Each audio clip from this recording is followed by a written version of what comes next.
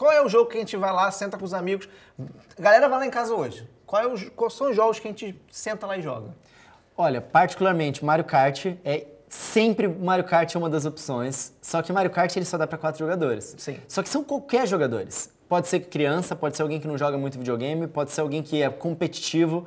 Todo mundo consegue se divertir. Esse jogo é perfeito, cara. E ele tem acessibilidade, né? Você pode ligar a anteninha para poder o carrinho não sair da, da pista, até mesmo para acelerar automático.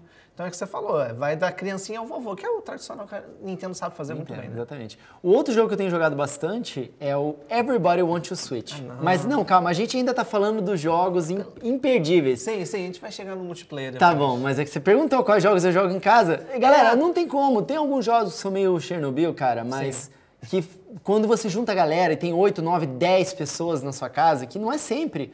Tem poucas opções assim que são legais. E esse jogo, apesar dele não parecer muito bom, quando tem tanta gente assim, ele é uma opção legal, cara. Tu já gastou muito tempo pra falar num jogo que nem esse. Tá Mas a gente vai bom, falar dele tá depois bom, de tá novo, bom. tá? Mas eu falei, fiz essa pergunta por quê? Porque o Mario Kart 8, ele é, ele é tanto jogo tão recomendado que ele, ele tá em tudo. Pra jogar sozinho, pra jogar de dois, pra poder jogar com galera, pra poder jogar online. Acho que ele é um... Passa controle. Exato, então assim, não tem como, galera. Acho que Mario Kart 8 todo mundo sabe que é um jogo muito bom. Mario Kart 8 Deluxe, né? Que é a versão do Nintendo Switch. Mas a gente precisa, precisava falar dele porque não tem como. A segunda pergunta normalmente é em relação a Zelda ou Mario Odyssey, tá? Eu quero começar falando de Zelda, porque pra mim é o segundo jogo obrigatório do Switch, porque depois que você tem um jogo que é pra todo mundo, um party game, você tem um que é pra jogar você mesmo, né? E aí Sim. muitas pessoas perguntam, mas e aí? Eu pego Breath of the Wild ou eu pego o Tears of the Kingdom? E eu tenho uma opinião bem formada em relação a isso que eu costumo também. dizer para as pessoas. Vamos ver se você vai ser igual a minha. Na minha opinião, se você tá pensando em pegar os dois jogos, se você pretende jogar os dois jogos, cara, pega o Breath of the Wild primeiro, joga ele numa boa, aí joga outras paradas, não sei o que, depois de um tempo, a hora que você estiver feliz, você vai lá e pega o Tears of the Kingdom. Dá um espaço entre eles. Agora, se você quer um Zelda definitivo, pra mim, tá? Se você quer um Zelda definitivo pra comprar, desses de mundo aberto, porque os jogos são caros e você não vai ter tantas opções assim, cara, pega o Tears of the Kingdom. Pra mim é isso. Eu concordo com o tempo, mas eu indicaria o Tears de cara. O Tears logo de cara? É. E nem, nem precisa comprar o Breath of the Não. Wild? Aí se sentir saudade, daqui a uns seis meses, um ano, vai lá e pega o Breath. Porque o Tears é mais completo. E assim, é, deixar de jogar o Breath, você vai deixar de ter algumas experiências. Principalmente porque o Tears ele é uma exploração mais horizontal, oh, perdão, vertical e o Breath horizontal. Mas ele é muito mais completo. Então se eu tenho que investir, se eu fosse investir, né, indicar para a pessoa investir um dinheiro, acho que o Tears seria uma indicação mais robusta para essa pessoa. E aí, sentiu vontade, pô, que saudadezinha de jogar um, um Tears of the Kingdom. Vai lá, pega o Breath of the Wild e conhece as origens do Tears of the Kingdom. Porque aí você já vai pensando com a cabeça seguinte, pô, beleza, esse jogo veio antes do Tears, então ele não, não tem como ser tão grandioso, não tem como ser melhor, porque a gente já sabe que o Tears é muito mais. Então, assim, ambas as indicações são viáveis, porque ou você começa no primeiro e depois você vai descobrir a grandiosidade do segundo tempos depois, ou você começa com o melhor deles e depois vai descobrir as origens. Acho que Eu acho que faz, Faz, sentido é. você começar pelo Tears também. E dar um tempo. E depois você pegar o Breath, porque você vai explorar o mundo de uma forma diferente. Sim, É sim. um pouco mais calmo o Breath, né? O Tears, ele é mais cheio de coisa acontecendo o tempo inteiro. O Breath, ele é mais suave, né? Faz sentido. Mas eu discordo uma coisa pra você. Hum. Eu acho que eu indicaria o Odyssey primeiro do que o Zelda. Sério? Sim. Porque, assim, pensando num O geral... cara já tem Mario Kart, cara. E tem Mario Kart, mas Mario Kart não é Mario Odyssey, né? Tu não tem como pular uma tartaruga no Mario Kart. É, mas a questão não é essa. A questão é que eu acho que o Mario Odyssey conversa com, mais com um público maior. E aí quando eu falo o seguinte, é, o Mario Kart, como a gente falou, é da criancinha pro vovô. Mas pensando no Mario Odyssey, ele conversa mais com pessoas, assim, pré-adolescente, sei lá, jovem adulto e adulto. É, depende né? da, da- de qual é o, o público também, né? Isso. Então, assim, é, já o Zelda, ele é um jogo mais maduro. Crianças jogam, adolescentes jogam. Só que eu acho que ele pega um público um pouco mais velho. Um público que é uma coisa mais intensa. O Odyssey, ele é mais, talvez, inclusivo. Ele, é uma- ele consegue agradar um público mais velho numa faixa maior do que o Zelda. É, faz sentido. Faz Acho que há sentido. mais chances de a galera, a maioria, comprar um Mario Odyssey e gostar do que comprar um Zelda e gostar. É, faz sentido. Mas eu ainda iria no Zelda, se você gosta. Se você olhou Sim. e achou bom. O, o Mario Odyssey pra mim ficaria numa quarta recomendação. Ainda tem uma terceira antes, que é o Animal Crossing. É que você não gosta de Animal Crossing. Eu concordo. Eu, eu, eu não concordo na posição, mas eu concordo que com certeza ele é um jogo imperdível no Switch. É. Animal Crossing, ele é um jogo de... É o The Sims da Nintendo. Só que ele é, ele é diferente do The Sims, porque o mundo se passa no mesmo tempo e no mesmo horário que o nosso mundo. Então, se hoje é dia, sei lá o que, de janeiro, vai ser, sei lá o que, de janeiro também dentro do jogo, os horários vão ser os mesmos. E as vidas dos, do- das pessoas que moram ali na sua ilha e que você interage, elas é, têm a ver com isso. Eventos acontecem em de- de- determinado momento do ano. E é um jogo que a interação que você tem com aqueles personagens é muito rica, é maravilhosa, você se afeiçoa a eles. Tem muitas coisas que você pode fazer e às vezes coisas novas, às vezes não, sempre coisas novas que vão surgindo com o tempo de relacionamento que você tem com aqueles personagens. É interessante você falar isso porque eu lembrei da Marinex no Twitter, que ela postou, não sei se tu viu. Ela postou falando assim: pela primeira vez, ah, um village deixou a, mi- a minha ilha. E a, a. Ai, como é que é o nome dela? A filha A- dela, a esqueci. filhinha dela. A filhinha dela chegou e. Irene. e cho- Irene. A Irene chegou e ficou muito triste, chorou, porque foi embora. Tadinha. Então, é o vínculo que você faz com os personagens, né? É muito rico. Animal Crossing é muito rico, ele é um jogo muito criativo e ele é um jogo que eu digo que é obrigatório, porque você vai jogar ele por anos. Cara, quando é que lançou o Animal Crossing Horizons? 2020. Tem três anos que eu jogo esse jogo, eu não abandonei ele ainda. Obviamente que hoje em dia eu jogo menos, mas eu continuei, eu tive, acho que esse ano, é, no 2023, acho que 37 horas de Animal Crossing ainda.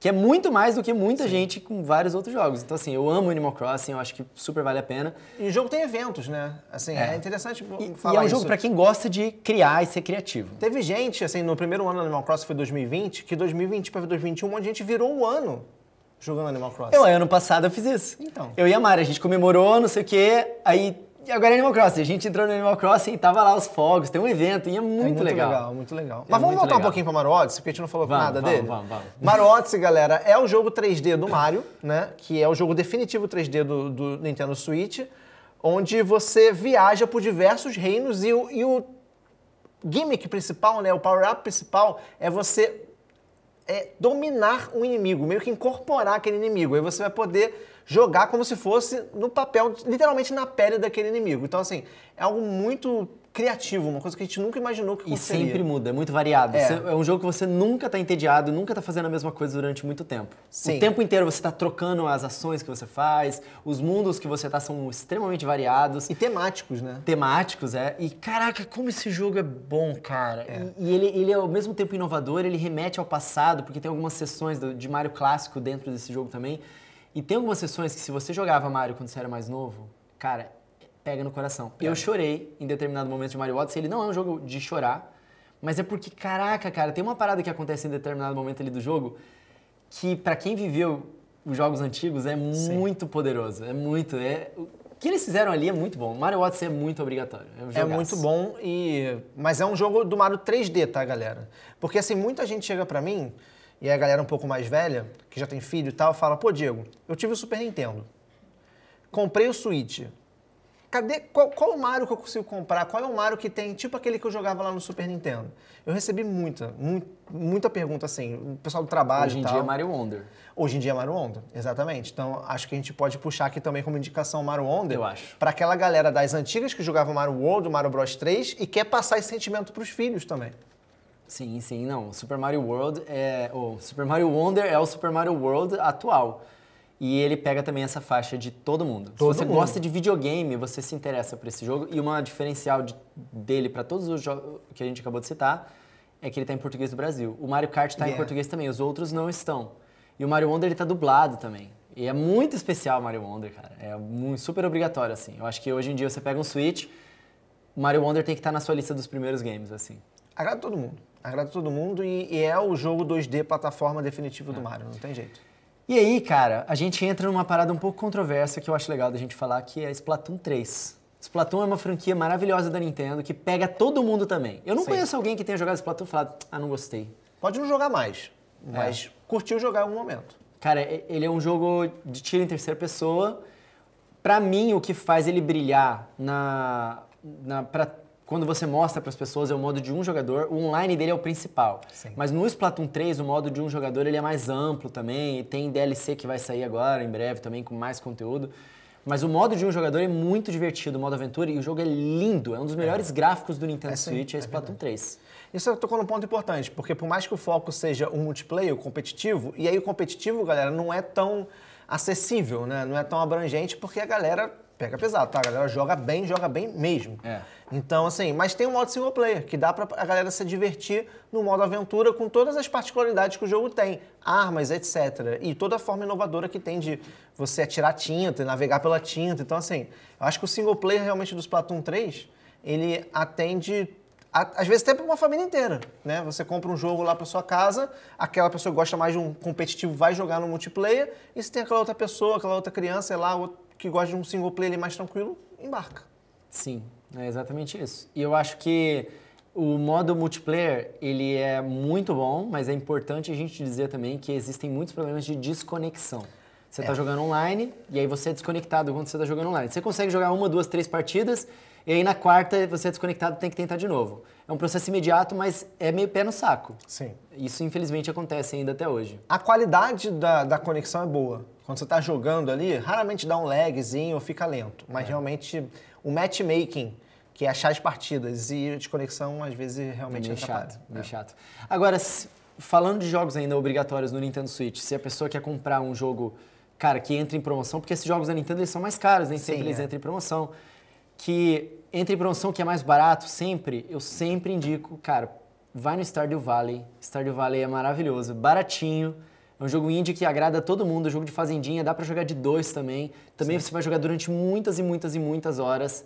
Stardew Valley, ele preencheu o meu, meu peito de alegria durante muito tempo também, cara. E é, é encantador. É um jogo que de fazendinha, que você não só fica na fazendinha. Ele tem uma narrativa também que você vai se envolvendo ali, uns mistérios legais de você acabar descobrindo.